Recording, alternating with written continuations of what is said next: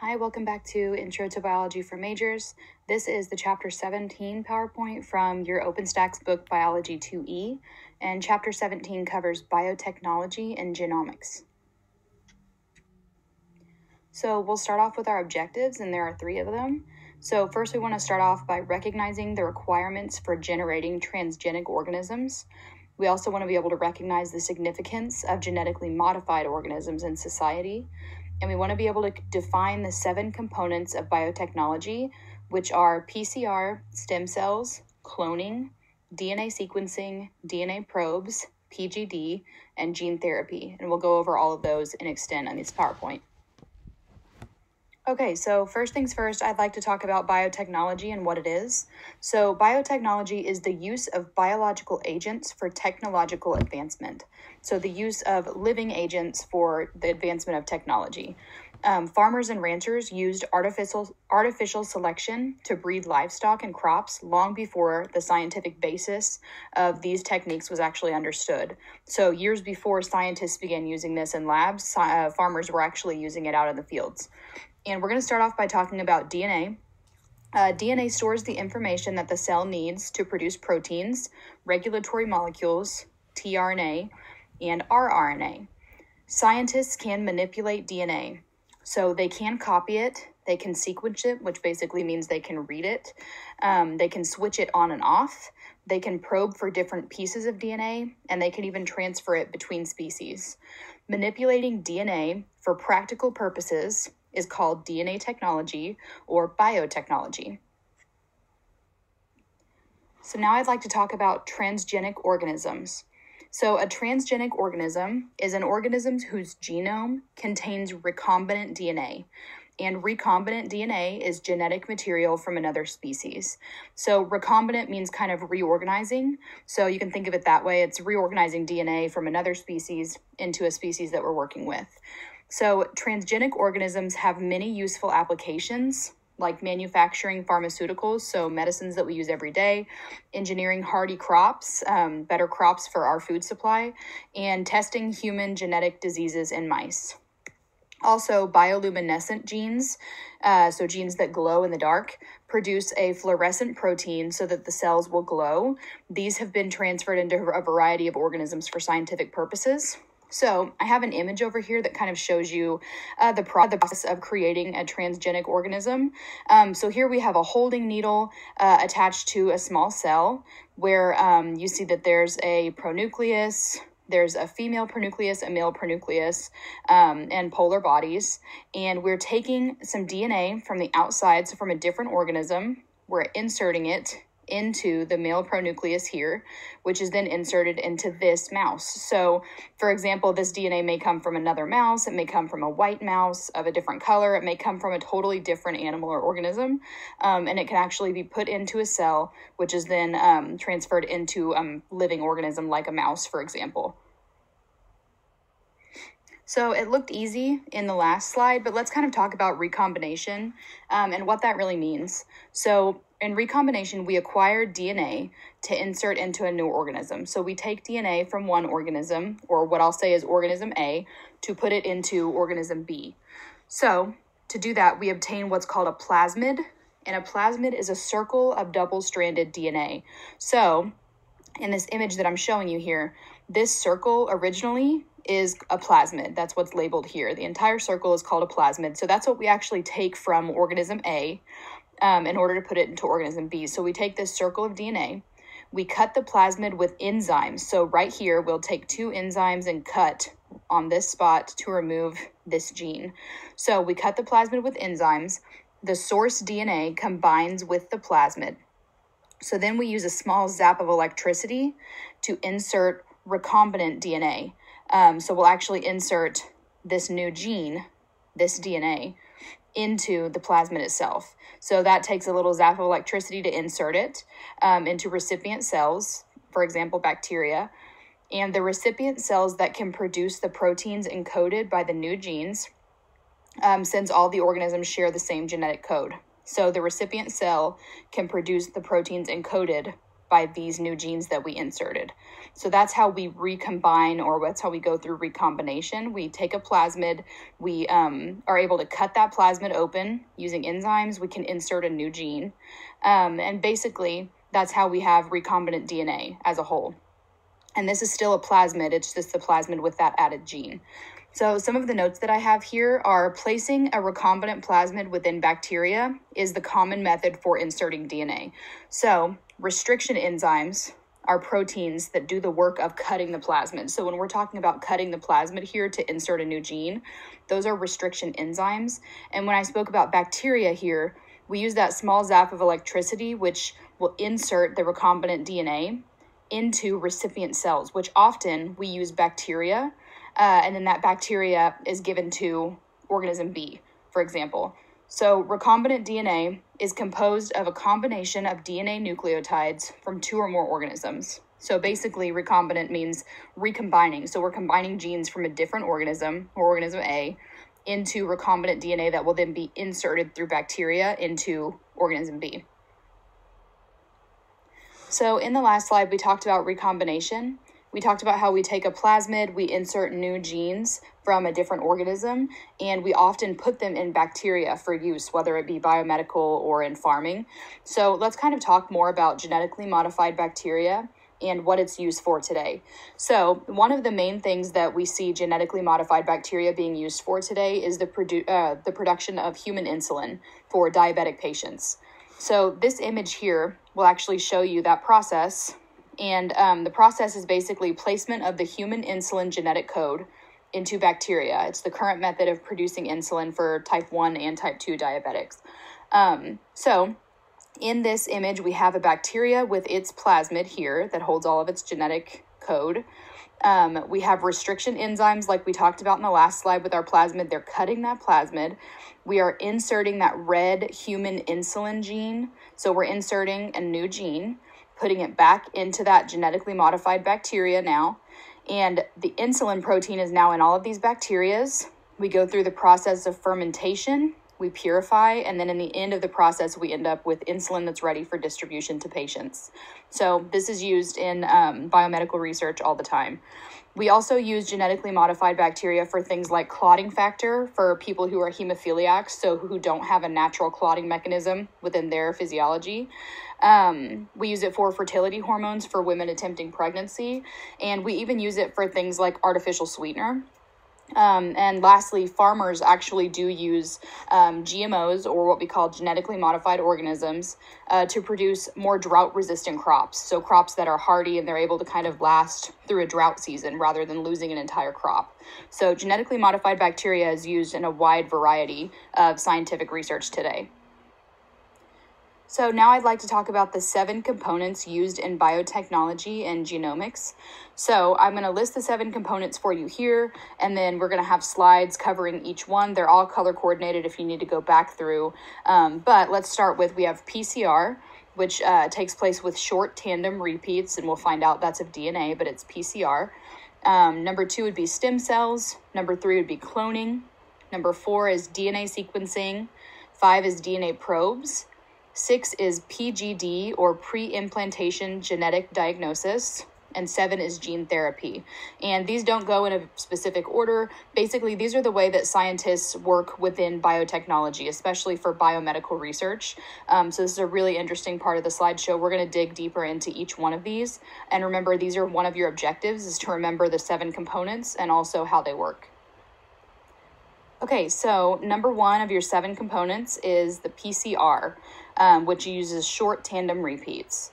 So, what if investigators only have a tiny amount of DNA to examine? So, I like to give the example um, of a true crime investigation. What if there's a murder or something happens where investigators are able to collect DNA, but they only have a small amount of that DNA?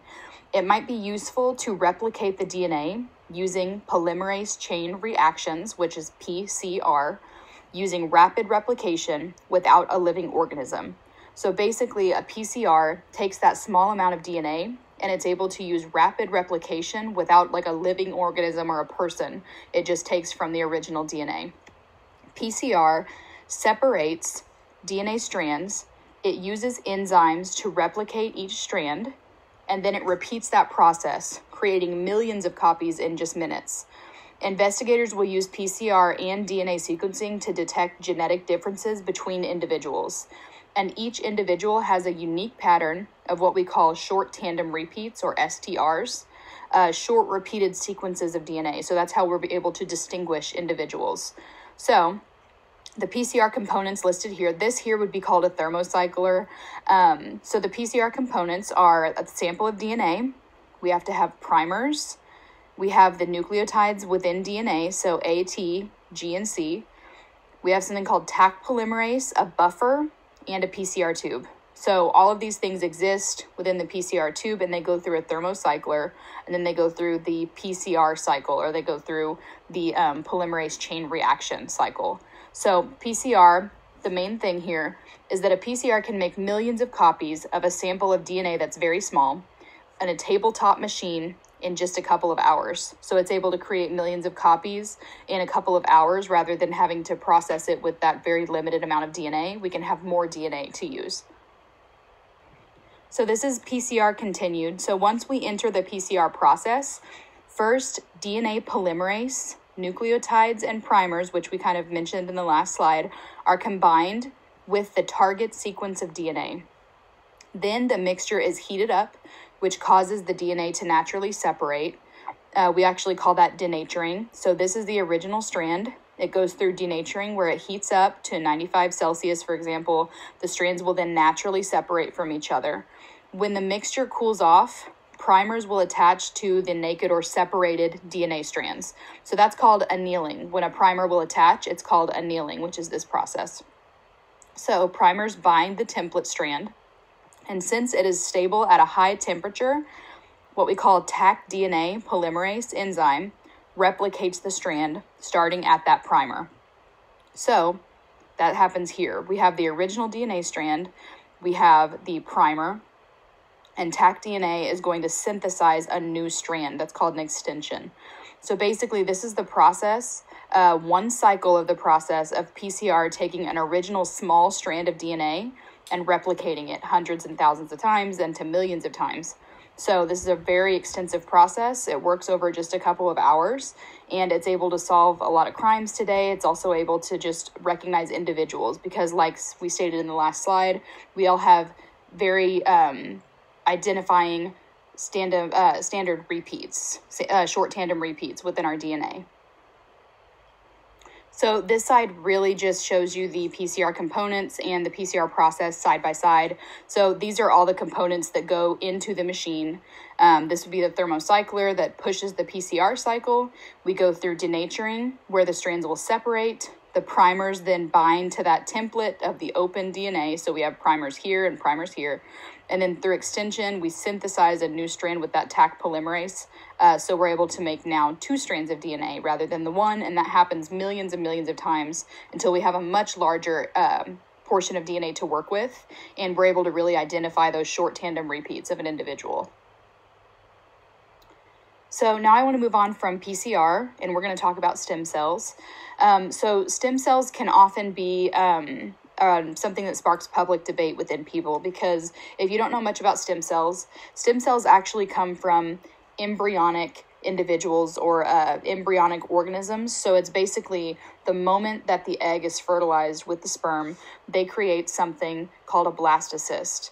And um, that is to some people the very spark of life, to others not. But regardless of that, stem cells are very important for biological research.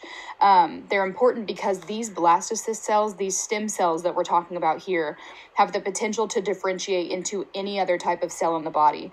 So if you really think about the process of fertilization, the egg and the sperm combine and they start off as what we call a blastocyst. This is the very beginning of um, the embryonic cycle or process.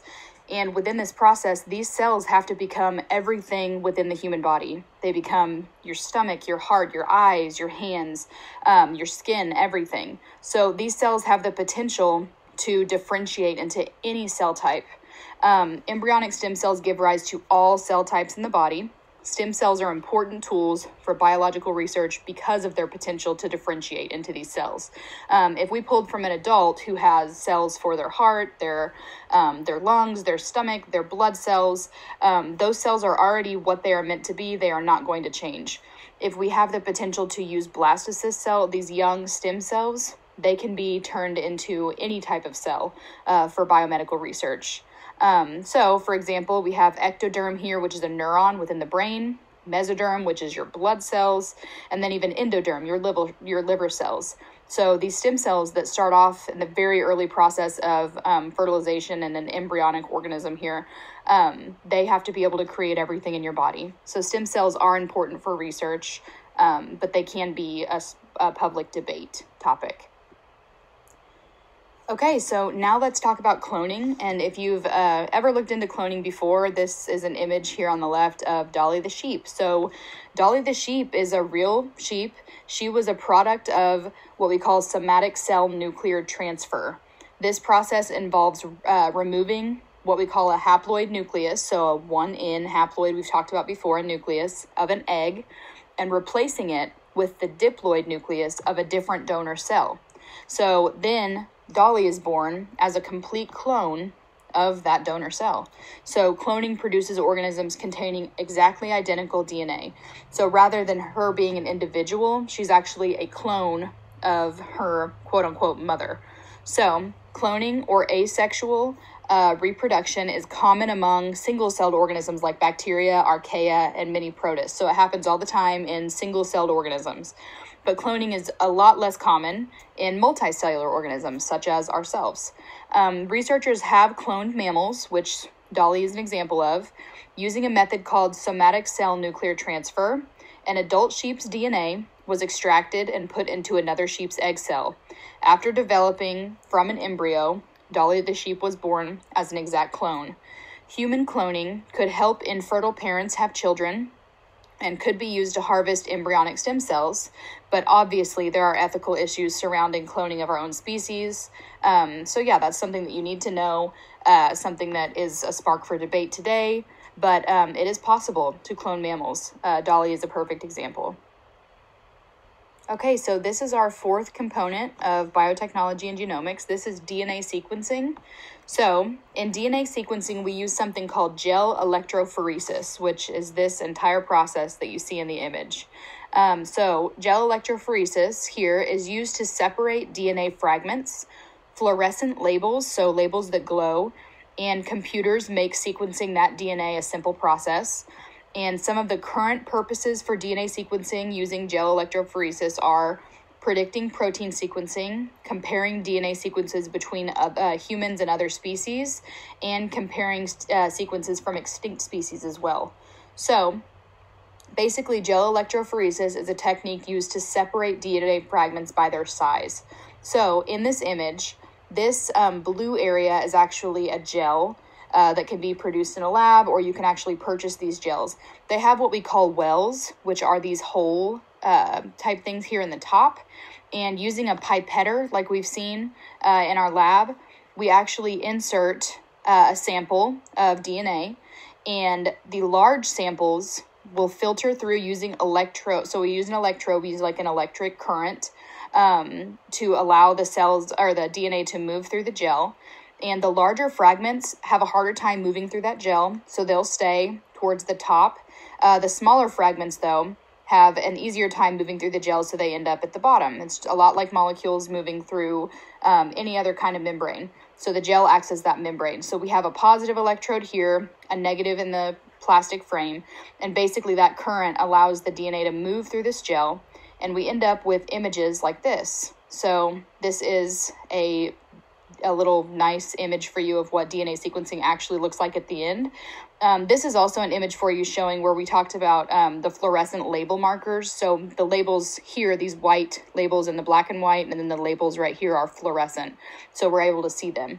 Um, so the correct steps are collection, extraction, PCR, and electrophoresis.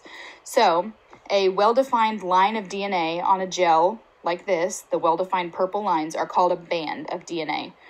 Each band contains a large number of DNA fragments that travel as a group to the same position.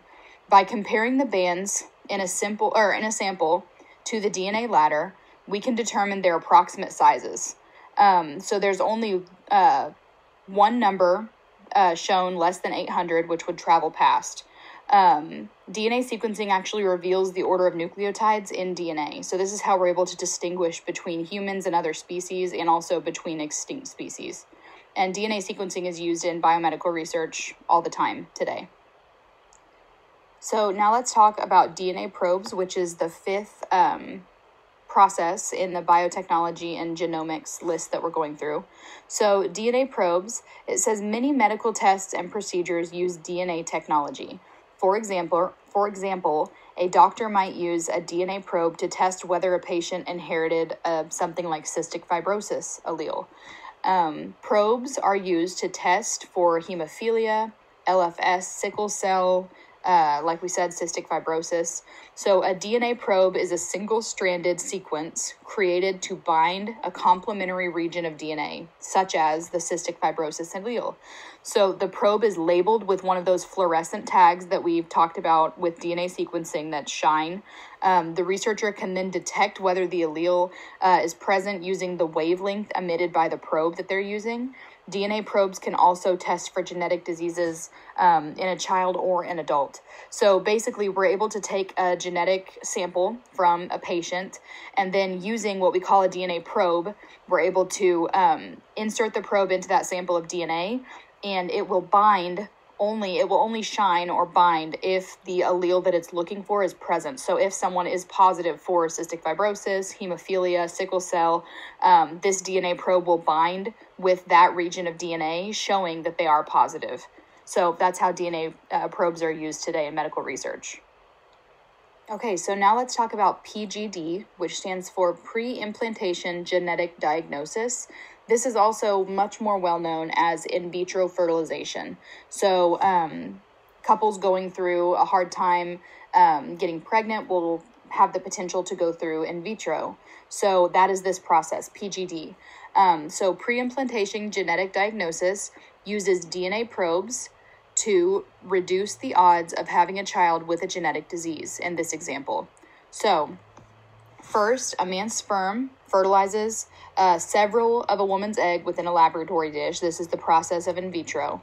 And then um, basically, researchers will then extract DNA from one cell of each of those embryos. They will amplify it using a PCR, like what we talked about before. Um, then they will use these DNA probes, which we just talked about, to search for any kind of harmful alleles. Um, if an embryo lacks a genetic disease, then it's a good candidate for being implanted into the woman's uterus. So, this isn't the actual process of in vitro, but this is what happens when um, couples are going through in vitro. They will fertilize multiple um, eggs, and then researchers will do this process in order to make sure that they are um, inserting the most healthy um, egg that they or embryo that they have created into the woman's uterus for um, the best chance of a healthy birth. So, this is what we call, again, PGD. Uh, using DNA probes, like we discussed in the last slide, uh, we reduce the odds of having uh, genetic diseases within children within the process of in vitro fertilization by extracting DNA from the embryos, amplifying it with a PCR, and then using those probes to search for harmful alleles. Um, then we're able to decide which of the uh, resulting embryo uh, information is best to insert into the woman's uterus for the actual pregnancy process. Okay, so this slide is our last component. It's number seven. It's the last component of biotechnology and genomics. So this is gene therapy. So, gene therapy may actually someday provide new treatment options for genetic diseases by replacing a faulty gene within a person's cells. So, obviously, um, a lot of biotechnology um, is uh, a trigger for many people and their beliefs, gene therapy being one of them. Um, PGD, we just talked about, is something that, you know, is, is controversial. Um, yeah, so there's a lot of controversy within biotechnology, but there's also a lot of um, potential for wonderful results for patients and people going through um, difficult diseases, people going through difficulty with pregnancy. Um, there are a lot of positive results. So, with gene therapy, there are negative side effects potentially, it could trigger an unwanted immune response within the body because if a gene is inserted within a cell that our body doesn't recognize, we can have an immune response that would try to kill off that cell, that gene. Um, it could also insert a gene at the incorrect location within the body, causing an issue, uh, which could also cause something like a tumor, causing cancer. Um, and it can also create too much of a specific protein uh, product. So, for example, Cystic fibrosis, this is an example of how gene therapy may work. Cystic fibrosis is caused by a faulty gene on chromosome 7. So, the result is an abnormal, what we call CFTR protein in our lung cells. Healthy versions of the gene are placed inside of the virus, which we use as a method to insert the new genes into the body. So, uh, healthy versions of the gene are inserted into a virus, which then the patient inhales. Uh, which sounds contradictory, but it actually works. The virus injects that genomic material, including the healthy gene, into those lung cells. So that healthy gene is now in those diseased lungs. And then the lung cells now have that gene available to produce normal CFTR proteins. So, in turn, potentially reversing the effects of cystic fibrosis within that patient. Um, so this image here just kind of shows you what I just stated in gene therapy. It shows you a cell with a non-functioning gene, um, adding DNA containing a functional version of the gene here. So within the virus, we would have, um, which we use a virus because viruses are naturally able to penetrate our body. Um, so it makes it easier for that virus to enter the body um, of someone with CF, for example, um, and then work within the body. So basically, we're inserting a healthy version of that gene into this cell, and then now the cell has the information it needs to create that gene um, on its own and kind of reverse those side effects. So, lastly, I want to talk about um, transgenic or transgenes in the wild. So, in the beginning of the slideshow, I did talk a lot about biotechnology and how it works within medical research, but we also have um, transgenes in our crops and uh, out in the wild today. So, I do kind of want to talk about how that works.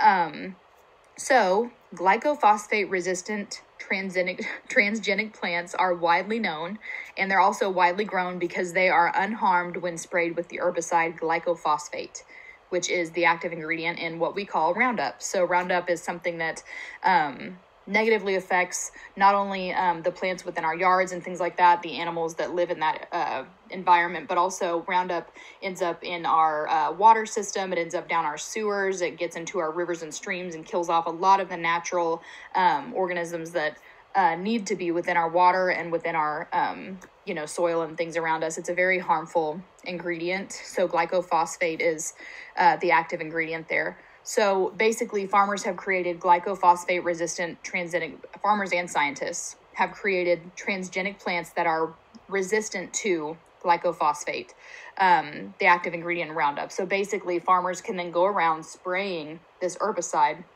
all over their um, fields and it will kill all of the weeds and it will allow their actual crop that is resistant to live through it.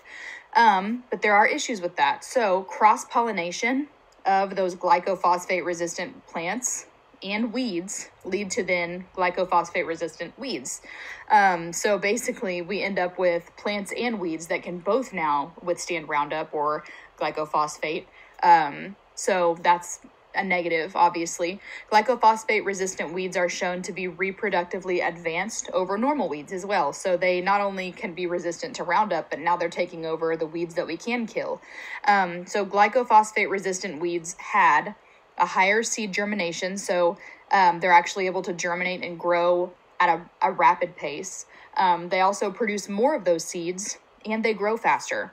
So, um, this image here is an example of uh, glyphosate resistant transgenic maize. So, maize is actually uh, commonly known as corn, so that's a corn crop. Um, so, basically, they're spraying uh, this glyphosate resistant, um, you know, spray on the plants. So, here we have the protein is not there. We have a regular crop and weed. Here we do have the protein. So by spraying this Roundup, now we're killing the regular crops and we're um, we have a Roundup ready crop is what we call it, or a glyphosate resistant crop here. Um, but then we end up with glyphosate resistant weeds. So this is not something that stops um, just within the one plant. Plants cross pollinate, uh, whether they're pollinating with other corn plants or maize plants, or they're pollinating with weeds. Um, so it is something these transgenes actually are in the wild in the sense that um, they may be created either in a lab or intentionally by farmers, but they're actually um, now kind of doing the opposite of what we intended.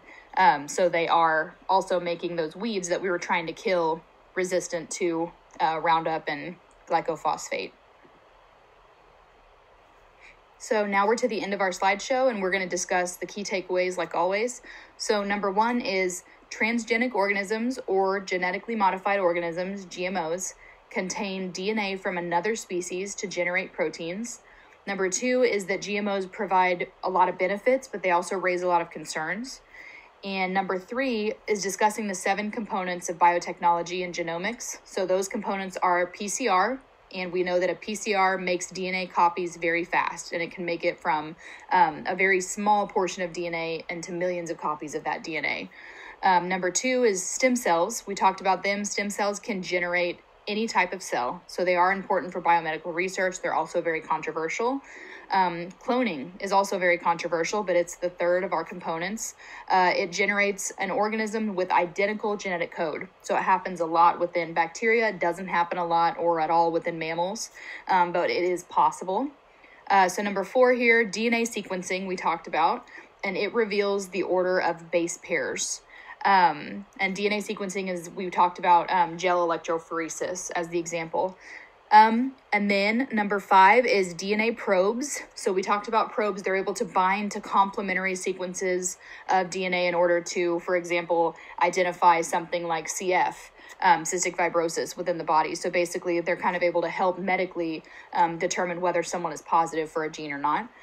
Um, number six is PGD, and it tests for uh, test the IVF or in vitro embryos before implantation. So basically, PGD, we test for um, any kind of negative uh, potential disease later on before uh, the embryo is in, inserted into a woman's uterus.